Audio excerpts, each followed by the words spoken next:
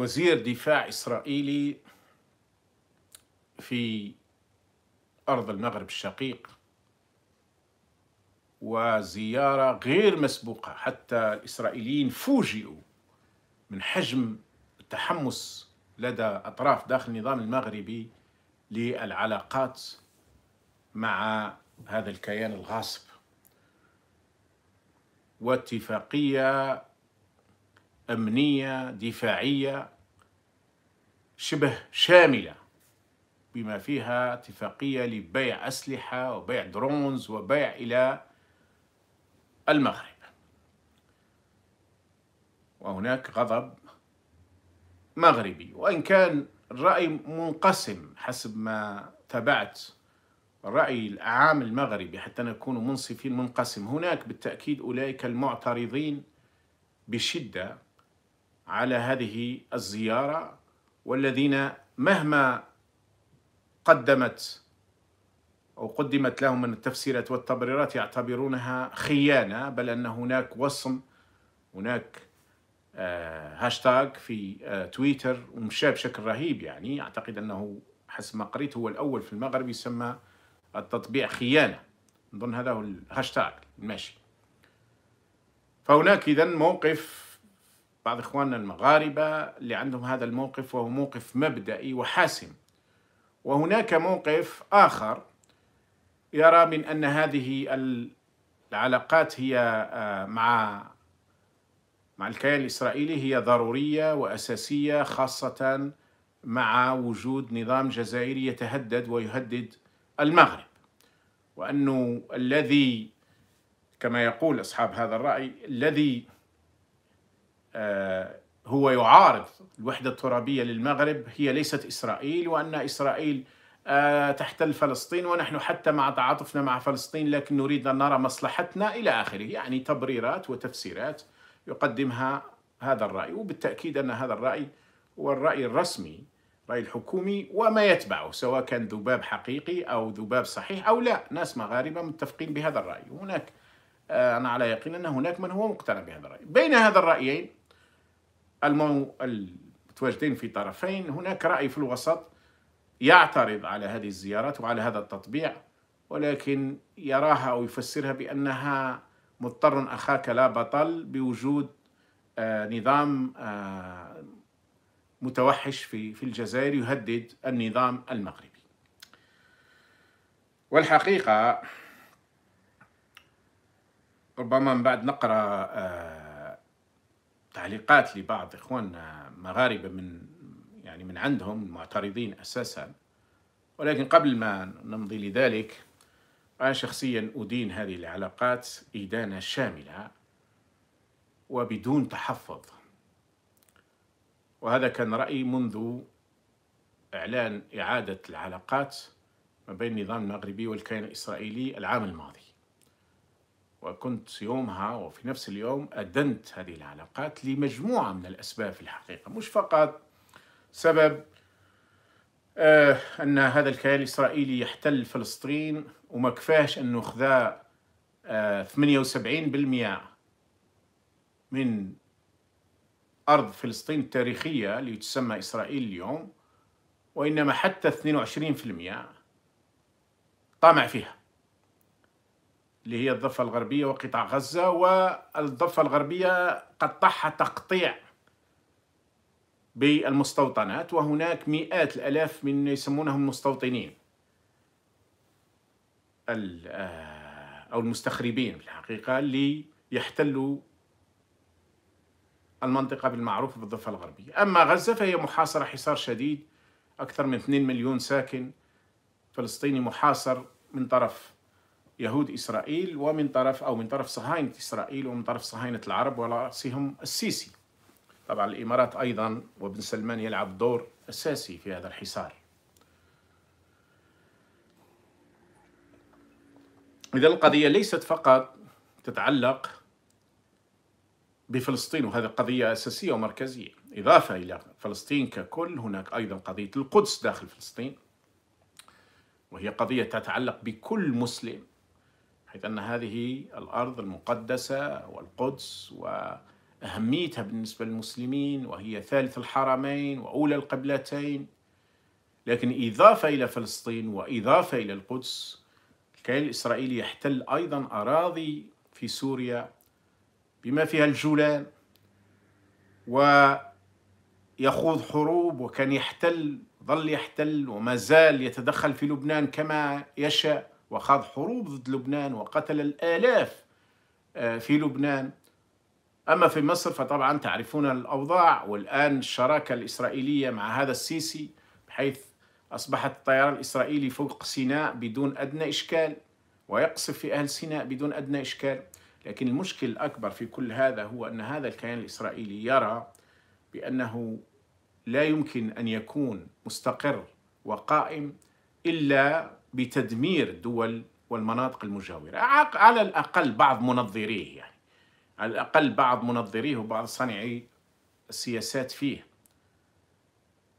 وهذا هو الإشكال آخر يعني. إضافة إلى احتلال فلسطين واحتلال الأراضي السورية واحتلال آه، مناطق من الأردن ومصر. ولو الآن بعد هذه الاتفاقيات تاع السلام أصبحت قليلة هذه المناطق المحتلة أو لكن هناك إشكالية أخرى أيضا في أنه يرى أن بقاؤه ووجوده هو أن تكون حوله بعض منظريه بعض كتابه بعض صناع السياسات فيه أن يكون حوله خراب شامل خراب في العراق خراب في سوريا ربما خراب في مصر وخراب في في مناطق أخرى أيضا.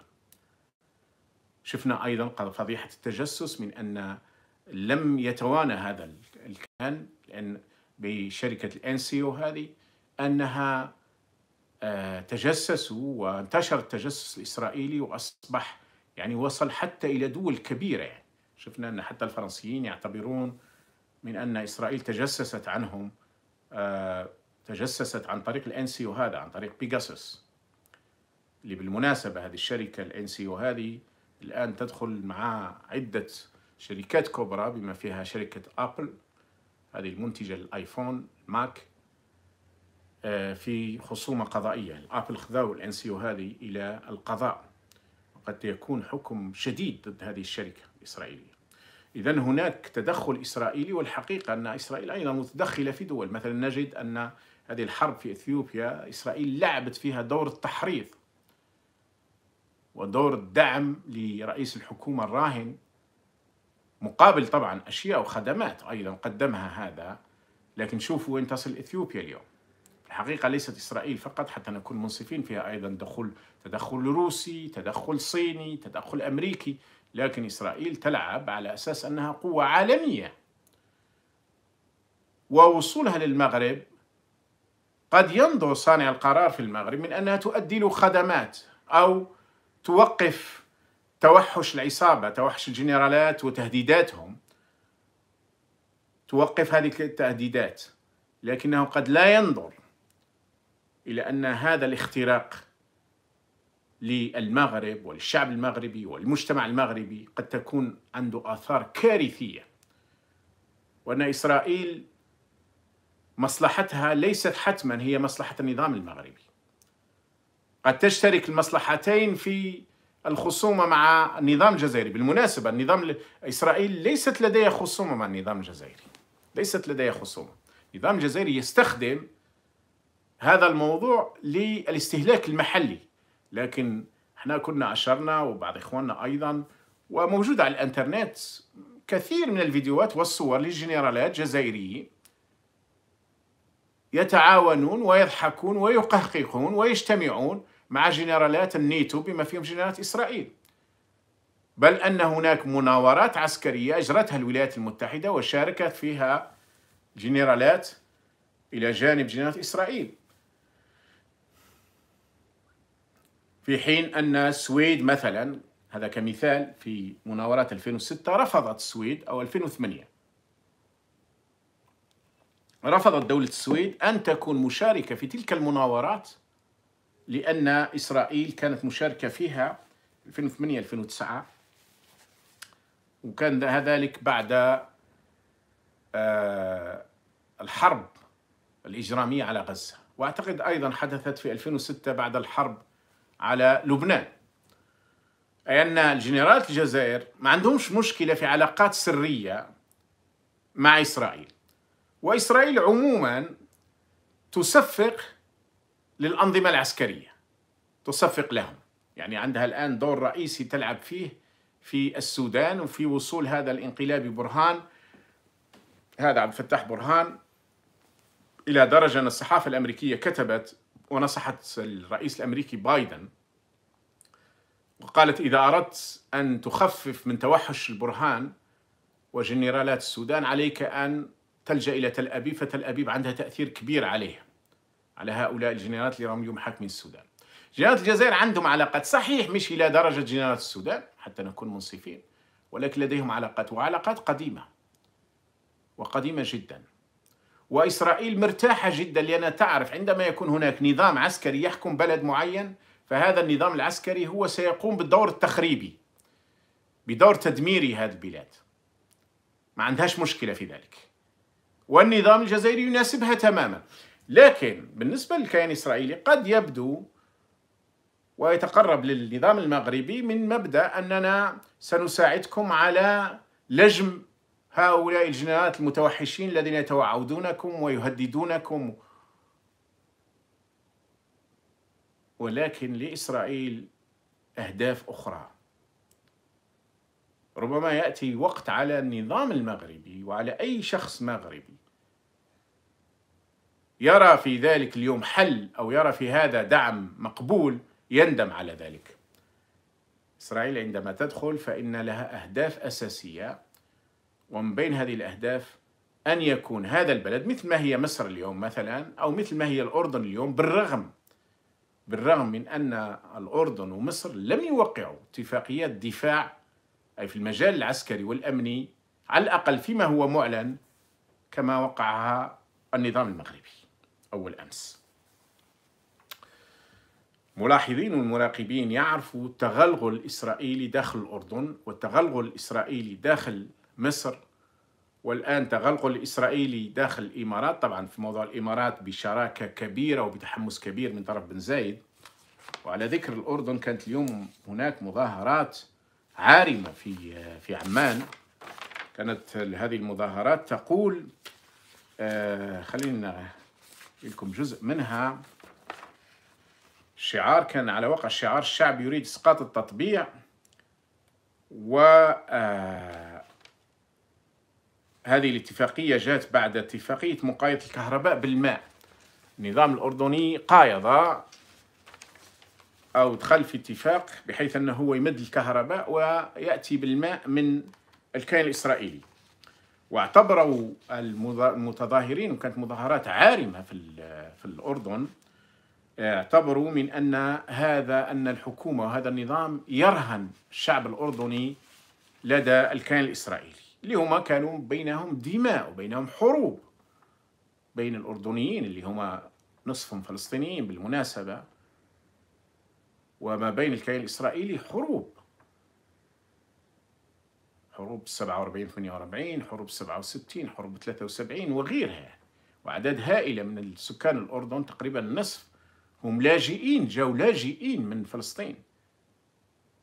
هاربين من فلسطين بعد أن احتلها الكيان الإسرائيلي. فكانت هناك مظاهرات هائلة.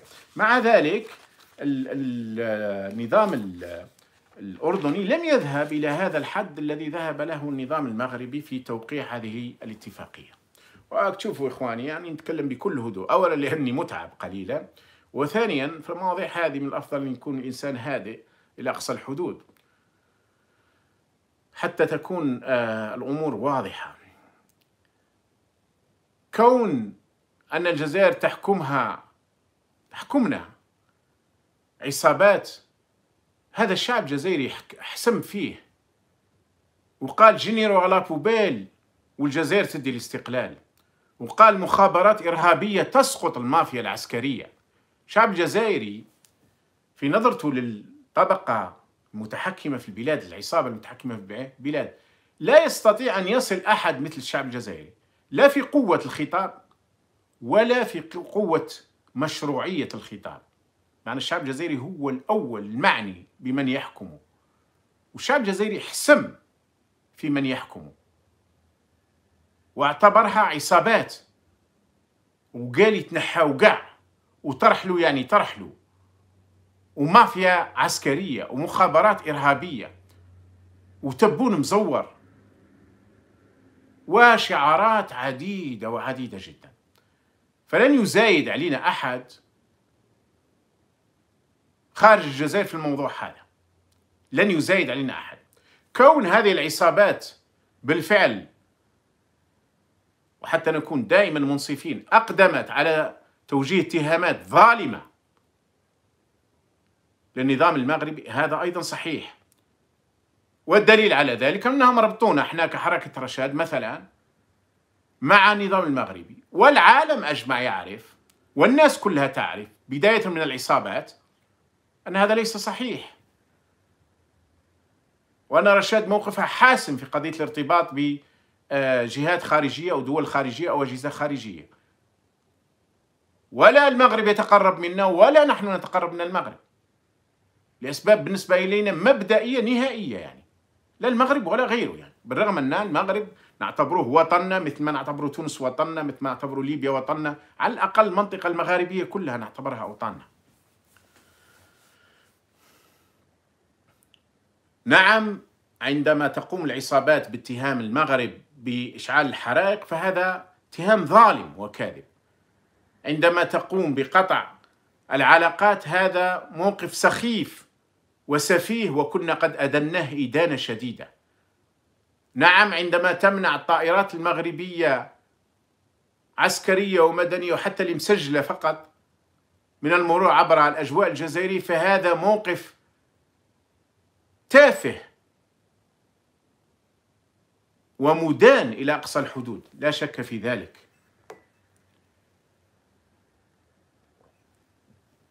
نعم عندما يتم ويخرج شنقريحة قبل سنوات ويقول العدو المغربي. والله الآن في هذه الفترات عندما يقول العدو الكلاسيكي نحن ندين ذلك وبشدة. في وقت يجب أن تقال كان الملك المغربي يخرج ويقول نحن يدنا ممدودة للتعاون ولي مع ما سماه هو الحكومة الجزائرية. إحنا بالنسبة إلينا عصابات وليس حكومة.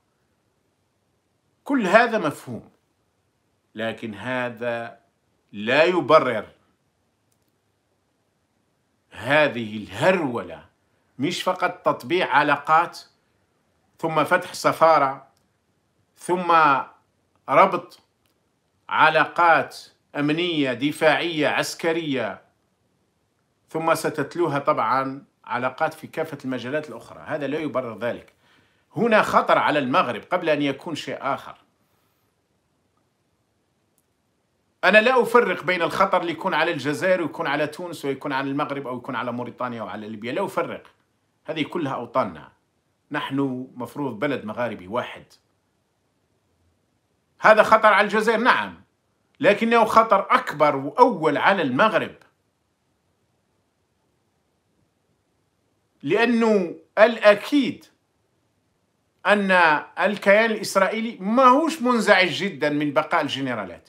والأكيد أن الكيان الإسرائيلي سيكون منزعج جدا من قيام حكومة مدنية.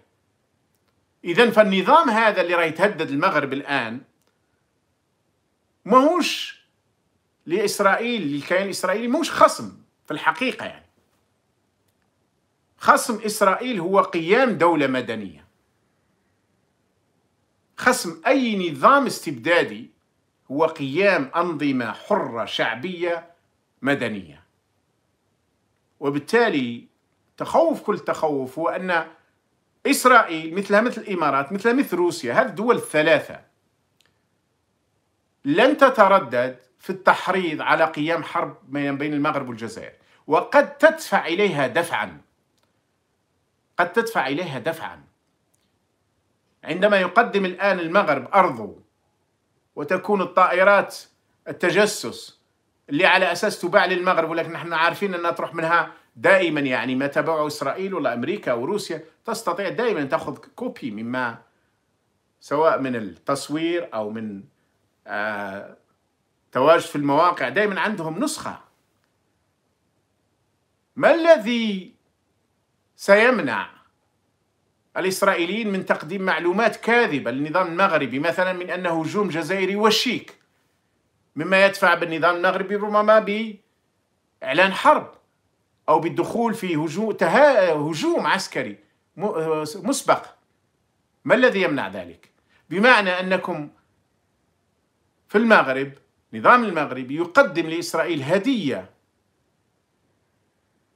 لإشعال حرب في أي وقت وقلت أن الدول الثلاثة التي ستكون مرتاحة جدا وربما ترغب في هذه الحرب هي أساسا الإمارات وإسرائيل وروسيا. كل حسب مصالحها وكل حسب ما تريد تحقيقه.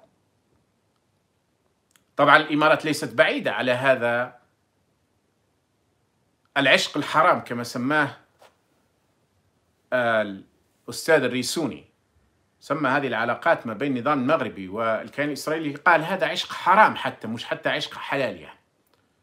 طبعا الإمارات هي الدافع الرئيسي فمثلا اليوم في الأردن المظاهرات خرجت تندد بالإمارات لأن الإمارات هي التي رعت هذا الاتفاق الإسرائيلي الأردني. الإمارات تريد أن تكون إسرائيل في كل المنطقة العربية وأن تتواجد في كل المنطقة.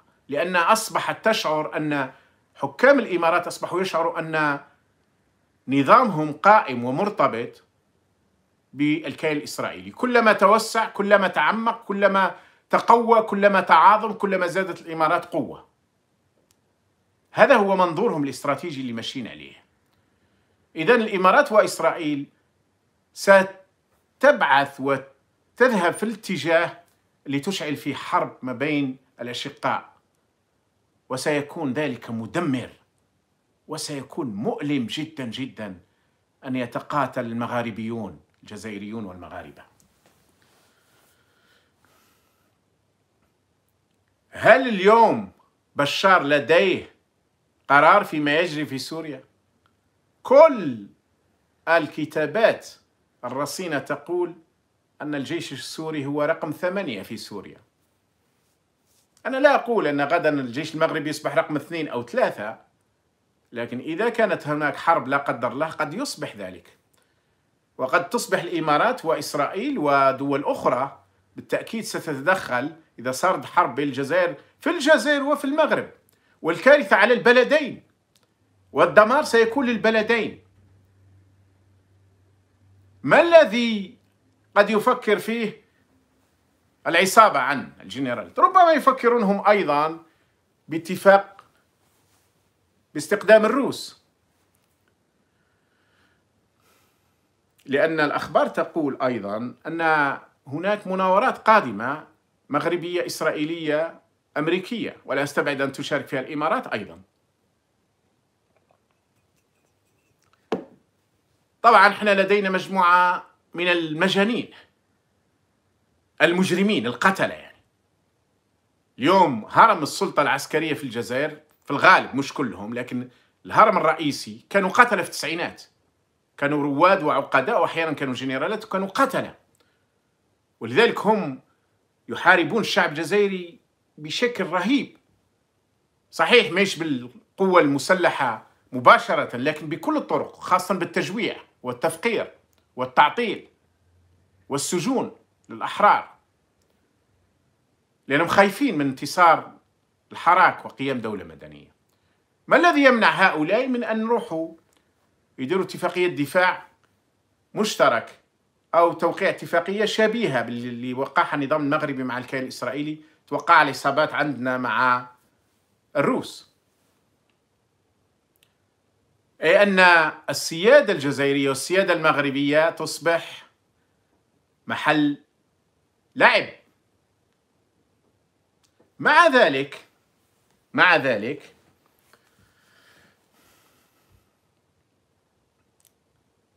وهذه أنا نوجهها هنا خاصة للعصابات في الجزائر لأن ربما يفكرون في الارتباط باتفاقيات دفاع مع الروس. أقول لهم باختصار بسيط.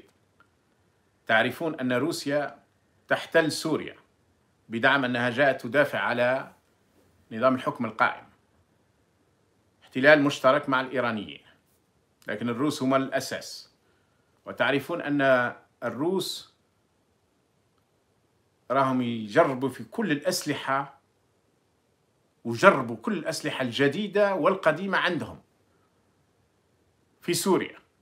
وهذا مكتوب, ومعروف. ونشروا آخر ما لديهم من تكنولوجيا بما فيها صواريخ الأس 400 لتحمي كل التراب السوري. وش كنا شفنا أنهم كادوا أن يدخلوا في حرب مع تركيا.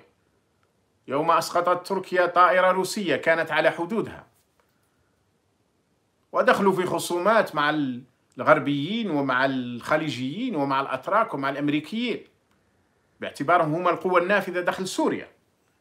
إلا مع بلد واحد. اللي هو الكيان الإسرائيلي.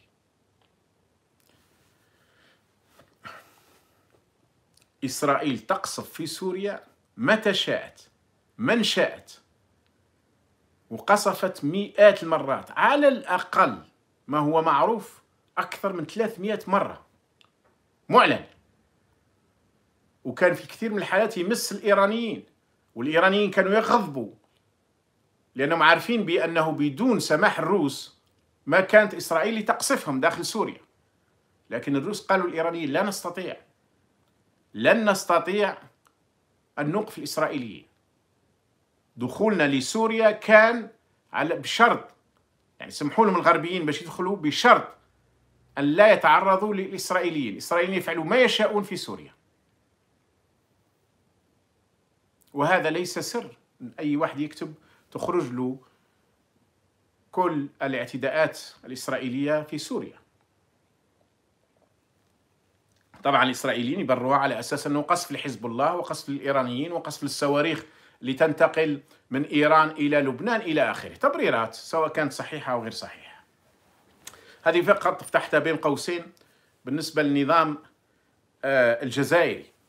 بمعنى أنه لو تجيب الروس وهذا لم يعد مستبعد بالمناسبة لو تجيب الروس فاعلم بأن أنهم أمام إسرائيل سيكونون مثل البطة العرجاء.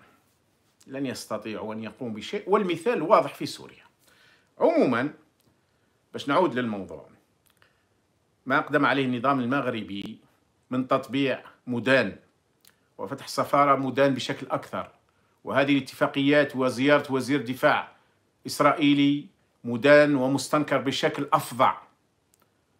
ولا أجد شخصيا الكلمات لأدين ذلك. أدينه بلا تحفظ. بالرغم من إنصافنا وقولنا من وأنا قلت هذا عدة مرات من أن الظلم في العلاقات المغربية الجزائرية الرسمية هو الظلم في 80% أو أكثر من طرف العصابات اللي عندنا. لكن وكما قالوا كثير من المغاربة الأحرار ليس ذلك تبريرا ولا يجب أن يكون تبرير. لأن وإلا في الحقيقة أن الجيشين الجزائري والمغربي متقاربين. وهناك عشرات المليارات من الدولارات التي صرفت على الجيش المغربي. إذا كان الإتيان بالكيان الإسرائيلي هو من أجل الدفاع عن المغرب فهذه كارثة. يعني المغرب يدخل تحت الحماية الإسرائيلية. ولا أعتقد أن أي شريف شريفة مغربية يقبلون ذلك. نعم الخطاب الرسمي لا يقول ذلك ولا يستطيع أن يقول ذلك. ولكنه قد يجد نفسه تحت حماية إسرائيلية مثل ما هو بشار اليوم تحت حماية روسية. هذه إسرائيل ليست منظمة خيرية. إسرائيل لديها حسابات محلية وإقليمية ودولية ولديها آه، استراتيجية. ومن بين استراتيجيتها وحتى بعض عندهم في بعض الأمور الدينية يعني اللي هم يجب أن يروا الخراب حول إسرائيل الكبرى. ولذلك أنا أرى أنه خطأ استراتيجي قام به صانع الرأي أو صانع القرار بعبارة دق صانع القرار في المغرب. أي كان. صحيح هو من حيث الشكل وربما المضمون أيضا هو الملك لكن الملك لديه مستشاريه ولديه وزراء ولديه اللوبيات ولديه المتدخلين ولديه فهذا قرار خاطئ استراتيجيا. وسيثبت التاريخ أنه كان ربما كارثة إذا لم يتراجع النظام المغربي عن هذا فإنه سيكون كارثة حقيقية. أما العصابة في الجزائر فإن الشعب الجزائري سينهيها وسيطيح بها. إذا ما هيش الشهر القادم موش السنة القادمة فيقينا في المدى المنظور يقينا. والعصابة في الجزائر لم تعد تمتلك القوة اللي تسيطر فيها على المجتمع. نعم فيه تخويف الآن وفيه سجون وفيه تجويع وفيه هذا لن يدوم. راه تتراكم كل المعطيات لثورة شعبية عارمة على الأبواب. وسيندمون على الحراك السلمي الحضاري اللي قمعوه قمع شديد. سيندمون ندم شديد. سيندمون يوم ربما بعضهم يسحل في الطرقات. سنكون نحن عاجزين ربما على قول السلمية مرة أخرى. لكننا سنظل نقول بأننا سلميين وسندعو الشعب الجزائري أن يكون تغيير سلمي. لكني أخشى ما أخشاه أن يوجد هؤلاء الجنرالات وقد سحلوا في الطرقات لأنهم ماخذين موقف عدائي ضد الشعب الجزائري. أعدى أعداء الجزائر هو النظام الحاكم فيها والمتحكم فيها بلا حق وبلا شرعية.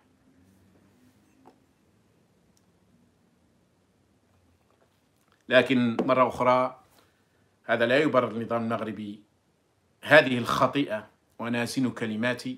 هذه خطيئة استراتيجية وستكلف المنطقة ككل. ولكن للأسف نتمنى لا يحدث ذلك لكن للأسف تكلفة سيدفعها الشعب المغربي والبلاد المغربية. خلينا نقرأ لكم جزء مما قاله بعض إخواننا المغاربة حتى لا يقول ربما بعض إخواننا اللي تأخذهم حمية الوطنية في المغرب من أنني ربما أخذ موقف حاد أو تعرفون موقفي من العصابة في الجزائر. لا أحد يزايد علي فيها.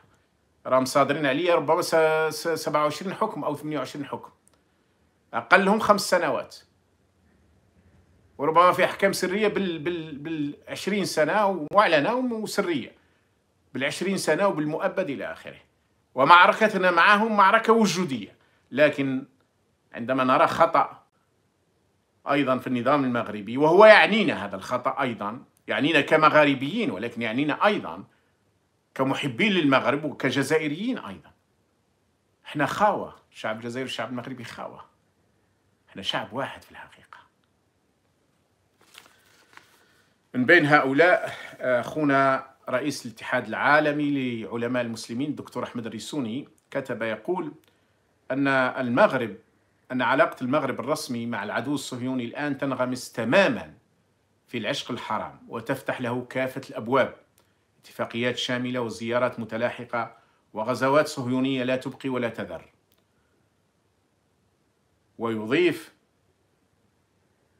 دائما أن علاقة المغرب الرسمي مع الكيان الصهيوني لم تعد كما قيل لنا قبل سنة مجرد اعتراف بدولة الاغتصاب. مقابل اعتراف الرئاسة الأمريكية بسيادة المغرب على صحرائه. ولم تعد كما قيل أيضا مجرد استئناف للعلاقات الدبلوماسية. يضيف دائما في مثل هذه الحالات فإن القوي يفترس الضعيف. أو قول يؤكد ما كنت أقول قبل قليل وهو قول من مغربي حر شريف لا يختلف عليه المغاربة حتى وين ربما اختلفوا معه في الأفكار السياسية والإيديولوجية. يقول بصريح العبارة دائما في مثل هذه الحالات فإن القوي يفترس الضعيف ويجعله في قبضته وفي خدمته مقابل كسب موهوم وفتات مسموم. وفي مثل هذه الحالة أيضا يكتشف الناس لاحقا أن ما خفي أعظم وأسوأ مما يظهر الآن ويضيف هل كان المغرب في حالة اختناق وجفاف تضربه على جميع الأصعدة في التعليم والأمن والجيش والتسلح والمخابرات والاقتصاد والسياحة والسياسة الخارجية وتضطره إلى سلوك هذا المسار الذليل الخطير تحت رعاية الرعاية والوصاية الصهيونية المباشرة هل كان المغرب على حافة الإفلاس؟ هل كان بحاجة إلى من يسعفه وينقذه من السكتة القلبية ولم يجد غير النجدة الصهيونية وعلى حساب القدس وفلسطين ويضيف في مقال نشره على صفحته على الفيسبوك هذا مقطع قرأت لكم منه. ولكن ليس فقط أخونا الريسوني في الحقيقة أيضا إخوة مغاربة آخرين. خليني لقيت في موقع بعض التغريدات نقرأهم لكم بسرعة.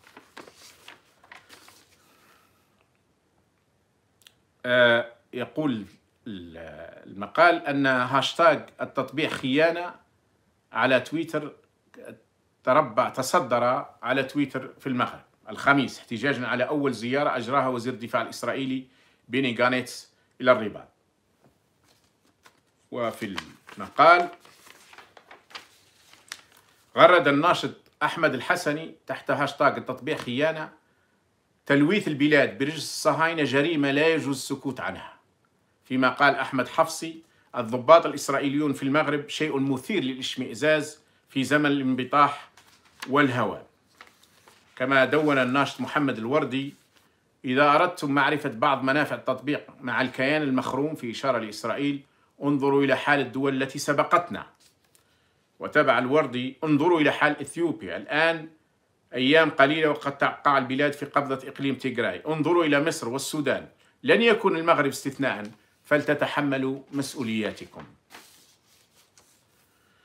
والحقيقة أن أيضا كانت فيه هناك آه، احتجاج في آه، الرباط حسب آه، وفيه أيضا حديث على احتجاجات قد تكون في الأيام القادمة ربما خاصة في الدار البيضاء والرباط وبعض المدن المغربية. لا ندري مدى حجمها الشعبي لكن بكل تأكيد أن هناك قطاع واسع من الشعب المغربي رافض لهذه الذهاب إلى هذه الحدود في هذه العلاقة رافض أصلا التطبيع ورافض إلى التعمق والذهاب فيه إلى هذه الحدود إلى غاية الاتفاقيات الأمنية والعسكرية.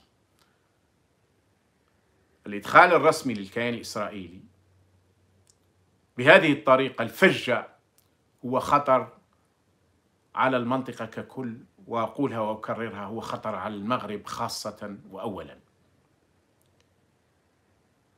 وأجدد قولي من أن الكيان الإسرائيلي مرتاح وسعيد ببقاء النظام العسكري في الجزائر. نعم يسعى إلى إضعاف الجزائر وربما إضعاف الجزائر يكمن ببقاء في فهمه في فهم الكيان الإسرائيلي وبعض القوى الكبرى أن بقاء النظام الجزائري يساهم بشكل أساسي في إضعاف الجزائر.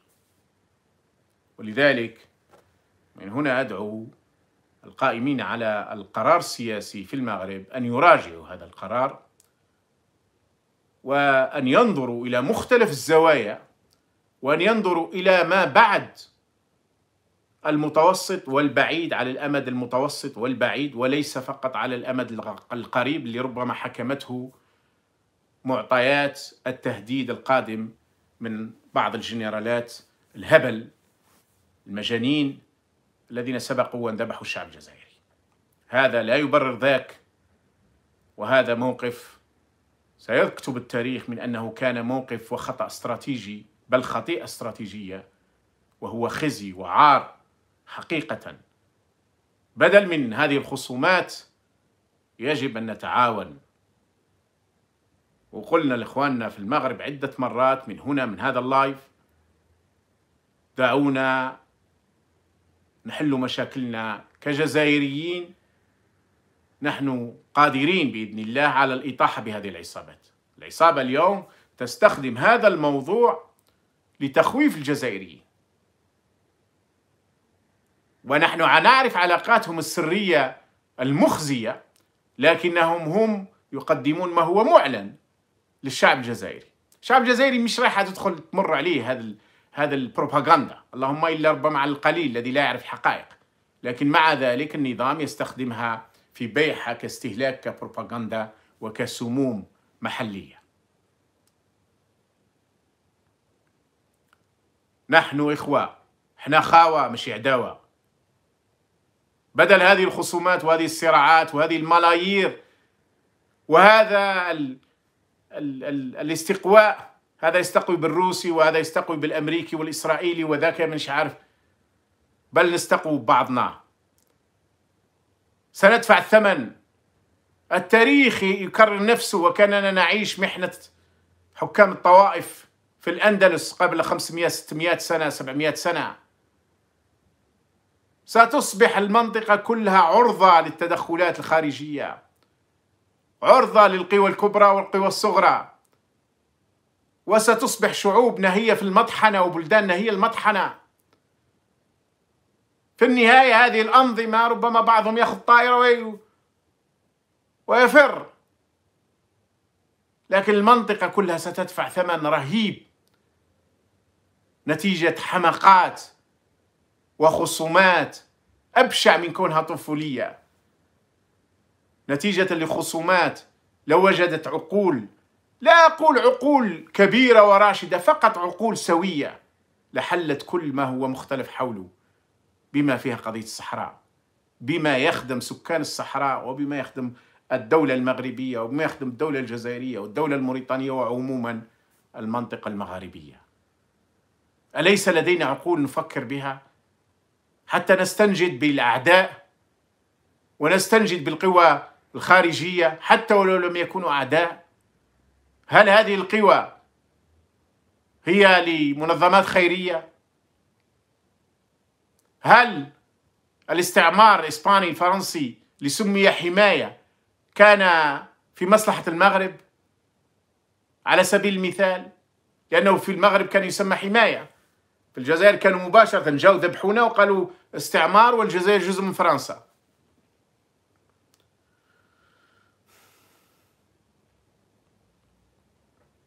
يدمي القلب هذه المواقف من طرف النظامين الحاكمين في البلدين.